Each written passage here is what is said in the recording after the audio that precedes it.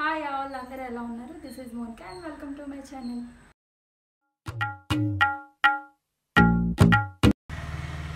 hi all అందరూ ఎలా ఉన్నారు? This is Monika and welcome to my channel ఈ వీడియోలో నేను న్యూ బోర్న్ బేబీస్ ఎందుకు ఏడుస్తారో నేను మీకు చెప్తాను.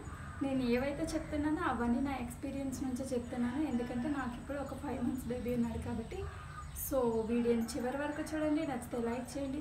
మీరు కనుక నా ఛానల్ని ఫస్ట్ టైం చూసినట్టయితే కింద ఉన్న సబ్స్క్రైబ్ బటన్ని క్లిక్ చేయండి. అలాగే పక్క ఉన్న బెల్ సింబల్ని కూడా క్లిక్ చేయండి. ఎందుకంటే నేను ఇలా వీడియో పెట్టగానే మీకు అలా నోటిఫికేషన్ వచ్చేస్తుంది. సో వెళ్ళిపోదాం. ఫస్ట్ పిల్లలు ఫస్ట్ కారణం ఏడటానికి ఏంటంటే ఆకలి. పిల్లలు చిన్న పిల్లలు మనతో కమ్యూనికేట్ మాట్లాడలేరు కాబట్టి వాళ్ళు ఫస్ట్ చేయగలిగేది ఏంటంటే ఏడవడమే కాబట్టి వాళ్ళకి ఆకలి వేయగానే ఏడుస్తారు. సో ఎవరైతే కొత్తగా మమ్మీస్ ఉన్నారో వాళ్ళు వాళ్ళ పిల్లలు ఎందుకు ఏడుస్తున్నారు? మనం అర్థం చేసుకొని first we must give feed feed ఇవ్వాలి పిల్లలకి. అయినప్పటికీ వాళ్ళు ఫీడ్ తీసుకోకుండా ఇంకా ఏడుస్తున్నారు అంటే some other reason is there అది మనం అర్థం చేసుకోవాలి.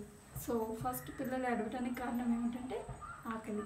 The next thing is second thing is diaper changing పిల్లలకి మనం డైపర్స్ యూజ్ చేస్తూ ఉంటాం కదా ఎవ్రీ బేబీకి డైపర్ చేంజింగ్ టైం అనేది డిఫరెంట్గా ఉంటుంది.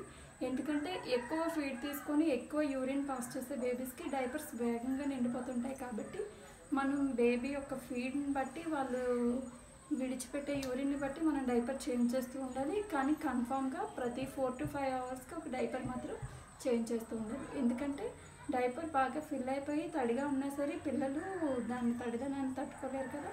న్యూ బోర్న్ బేబీస్కి మ్యాక్సిమం కావాల్సింది ఎక్కువ వామ్గా ఉండాలి. సో మనం డైపర్ చేంజింగ్ కూడా చూసుకుంటూ ఉండాలి. Diaper changing is second reason. For baby crying is they are tired. Sometimes people get tired. మనం ఎలా అయితే కొంత పని చేసి టైర్డ్ అయిపోతూ ఉంటామో సో పిల్లలు కూడా అలాగే ఆడుకుంటూ ఆడుకుంటూ వాళ్ళకి కూడా కొంచెం టైర్డ్ అనేది వస్తుంది. సో అటువంటి టైం అప్పుడు వాళ్ళు ఏడుస్తూ ఉంటారు. Then they are rolled their eyes వాళ్ళు కళ్ళు నిలుపుకుంటూ ఉంటారు. నెక్స్ట్ చిరాకు పడుతూ ఉంటారు. అటువంటి టైంలో కూడా మదర్స్ అనేవాళ్ళు పిల్లలు యొక్క బిహేవియర్ని చూస్తూ కూడా మనం అర్థం చేసుకోవచ్చు అనమాట సో ఎప్పుడైతే వాళ్ళు చికాకుగా ఉండి కళ్ళు నులుపుతూ ఉన్నట్టు ఉన్నారంటే వాళ్ళు టైర్డ్ అయ్యారు. అటువంటి టైంలో మనం మదర్స్ చేయాల్సిన పని ఏంటంటే బేబీస్ వేసి కొంతసేపు అలా అలా ఉంటే వాళ్ళు చక్కగా బచుకుపోతారు ఫోర్త్ థింగ్ ఏంటంటే పిల్లలకి బాగా బోర్ కొట్టినప్పుడు కూడా ఏడుస్తుంటారు. బాగా బోర్ కొట్టాలంటే ఇప్పుడు మనం పిల్లల్ని ఆడిస్తాం. వాళ్ళు కొంతసేపు చక్కగా హ్యాపీగా నవ్వుతూ ఆడతారు. అదే కాకుండా మనకి ఏదో పని ఉంది కదా అని పిల్లలు ఆ పక్కన పెట్టేసి ఏవో కొన్ని బొమ్మలు ఇచ్చేసి ఆడుకోమని చెప్తుంటాం అటువంటిప్పుడు రోజు చూసే బొమ్మలు చూసి కూడా వాళ్ళు కొంచెం బోర్గా ఫీల్ అవుతుంటారు. సో అటువంటప్పుడు మనం different different kinds of songs పాడటం లేకపోతే వేరే వేరే వేరే కొత్త బొమ్మల్ని ఇవ్వడం కొత్త ప్రదేశాలని కొత్త వాటిని అన్నింటిని చూపించేటప్పుడు వాళ్ళు బోర్గా ఫీల్ అవ్వరు. సో అటువంటప్పుడు కూడా ఏడవరు సో పిల్లలు ఎప్పుడైనా బోర్ కొట్టినా కూడా ఏడుస్తూ ఉంటారు. The last final thing is ఇవన్నీ చేసేటప్పటికి కూడా ఇంకా మీ పిల్లలు ఏడుస్తూనే ఉన్నారు అనుకోండి.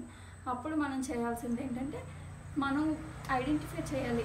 Is he or she is suffering with stomach pain or some other any gastric problem మనం అప్పుడు అర్థం చేసుకోవాలి. అయితే దీనికి స్టమక్ పెయిన్ వస్తుంది లేకపోతే గ్యాస్ట్రిక్ ప్రాబ్లం అయినా వస్తుంది. అటువంటప్పుడు మనం ఒక స్పూన్ ఆఫ్ గ్రైండ్ వాటర్ ఇస్తే వాళ్ళకి రిలీఫ్గా ఉంటుందని నా ఒపీనియన్ ఎందుకంటే మా బేబీ ఎప్పుడైనా ఏడ్చేటప్పుడు ఇవన్నీ చూస్తాను. అయినప్పటికీ తను ఇంకా ఏడుస్తుంటే స్మాల్ ఒక small spoon of gripe water తనకిస్తే తను ఫ్రీగా డైజెస్ట్ చేసుకుంటూ ఉంటాడు నెక్స్ట్ వచ్చేసి మెయిన్ థింగ్ నేను చెప్పాల్సింది ఏంటంటే ఎప్పుడైనా మనం బేబీకి ఫీడ్ ఇచ్చిన తర్వాత మనం ఖచ్చితంగా బేబీని బర్త్ చేయాలి. ఎందుకంటే తేనుపు అనేది వస్తే వాళ్ళకి పొట్టలో కొంచెం లైట్గా ఉంటుంది. అటువంటిప్పుడు వాళ్ళు ఫ్రీగా మూవ్ అవ్వగలరు అండ్ ఫ్రీగా నిద్రపోగలరు. So I think hope you guys all like this video.